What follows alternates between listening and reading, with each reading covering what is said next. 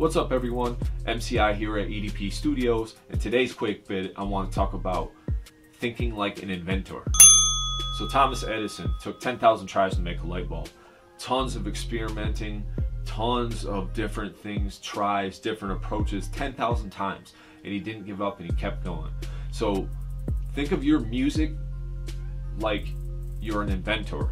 You're trying different things, you're putting tons of hours in, you're putting tons of practice in to try to figure out what it takes to get where you need to be, to build a fan base, to figure out everything you need to learn while you're doing that music.